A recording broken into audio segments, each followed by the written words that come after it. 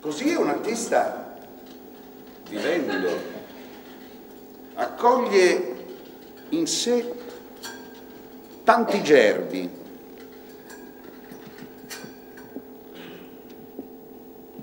germi della vita e non può mai dire come e perché ad un certo momento uno di questi germi vitali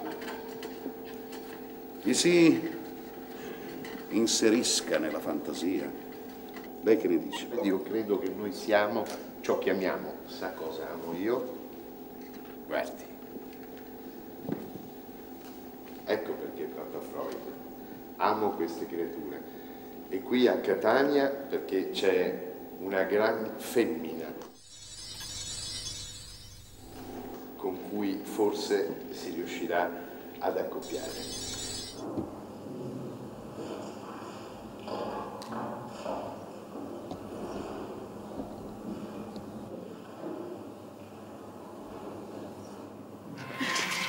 Teatro è vita, ricordati.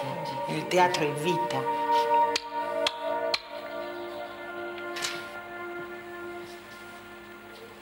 E tu nel tuo gioco, Rosalia, dove lo vuoi mettere sto ragazzo? Ho sempre pensato a un figlio maschio. Quando io ero più giovane, per esempio, volevo uscire con un figlio come te. Allora tutti quanti dicevano, guarda, quella, questo è un altro sogno mio. Quella è una donna fatta, anzi, cammina col ragazzo, si porta. Invece era mio figlio. Capisci? E dicevano, no, questo è mio figlio, di fronte a tutte quelle che mi conoscevano. Questi miei invece lo pigliavano per il mio ragazzo. E invece non ho avuto sta gioia. Fatti una passeggiata come se fosse tuo figlio. No, come se fosse il mio ragazzo. La signora già mi guarda male, signora si crede che il mio ragazzo me lo porta a letto. È mio figlio, signora. Ha visto che bel ragazzo che è, grazie. Sì, già mi guardava che ha puzzo sotto un naso, la signora. Io me ne sono accorta. Stasera andiamo a mangiare fuori a mamma e poi ti porta al cinema. Mano in mano ci dobbiamo tenere, camminiamo per via Caracciolo, vieni. Devi vedere il ragazzo. Ma parte per soldato. Sì, va a Torino a fare il soldato. Eh, ma ci vado anch'io, mi trasferisco. No, non lo lascio sulla mia figlia. Da Torino ci sono tutte quelle donne. Tutte quelle donne che guardano i ragazzi, se li portano a letto. Fa vedere a mamma il pantalone che ti ha comprato mamma, vedete, questo è il jeans, questo è di covering. E l'ho comprato di covering, portiamo roba firmata. Pure le macchie sono firmate. No, queste le macchie si fanno apposta, dottore. Gliele fatti tu? No, li fanno i ragazzi per essere alla moda.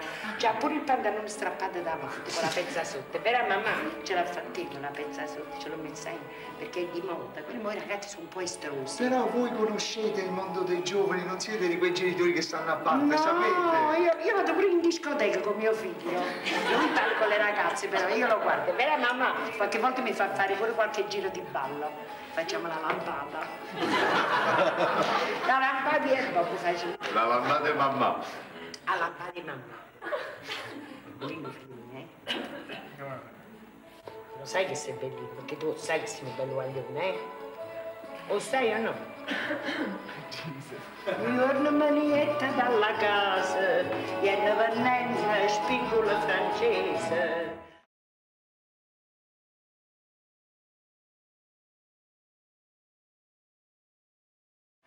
Mi chiamano figliola trasa, trasa, quando spingola mi dai per un turnese. Mi chiamano figliola trasa, trasa, quando spingola mi dai per un turnese. È la moneta dell'epoca, e quando spingola mi dai per un turnese. E che lunga un po' razzina, subito mamma cai dalla casa, a chi va belle spingola francese, a chi va spingola chi va, e io che sono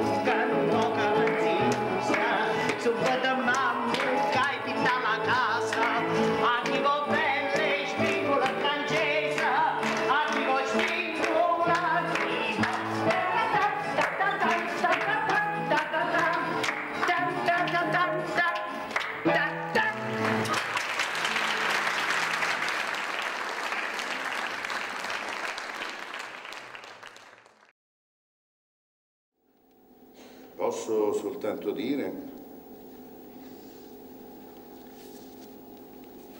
che senza averli punto cercati, mi trovai vivi davanti, vivi da poterli toccare, vivi da poterne udire perfino il respiro, quei personaggi che ora lei vede sulla scena e attendevano lì presenti, ciascuno col suo tormento segreto. Lei capisce, dottore, ma cosa vuol dire tormento segreto? Dicano. Attendevano lì tutti uniti dalla nascita e dal sviluppo delle vicende reciproche. Ch'io li facessi entrare nel mondo dell'arte, componendo delle loro persone, delle loro passioni, dei loro casi, un romanzo, un dramma, o almeno una novella. Ah, io, io lo rifiutai, sa? Cercai persino di non riceverli più. Nati vivi volevano vivere. Non è straordinario, dottore? Fantasmi. Sei personaggi in cerca d'autore. Perché tu sei personaggi in cerca d'autore. Noi siamo personaggi in cerca d'autore.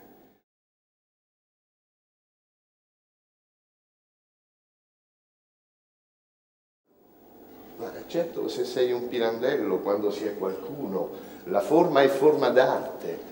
Ma cosa accade all'uomo che non è poeta o scrittore? Cosa accade allo spettatore? Cosa accade in platea? Ognuno di noi sa vede un'altra commedia. Forse ogni poltrona, ogni sedia, a ben vederla, è un altro palcoscenico.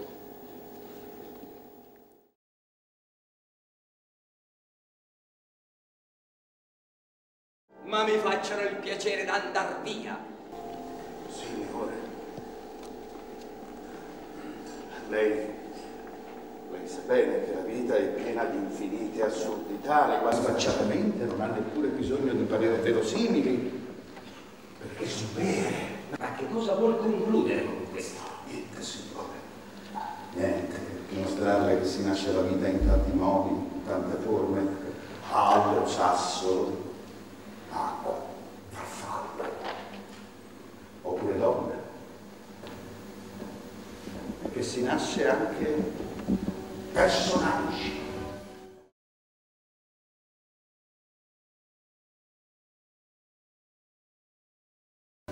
Ha visto, signore? Ha visto? Pirandello tiene al servizio della sua arte una servetta chiamata fantasia, mentre Moreno esce dal teatro e mette la fantasia al servizio della spontaneità. Invece di maschere nude, Moreno immagina il ritorno di un Cristo nudo. Cristo sarebbe stato nudo, annunciò Moreno alla Vienna di Freud, perché la nudità è l'atto esterno, dinamico, di escludere e rifiutare ogni accessorio culturale. Il nuovo Cristo non sarebbe stato un esibizionista, ma un uomo pieno di rispetto per lo statuto naturale di un corpo nudo e di un'anima nuda. A ben vedere, la mentalità comune è esibizionista, perché esibisce vestiti, scarpe, mutande, accessori, cinture, calzini, non la nudità.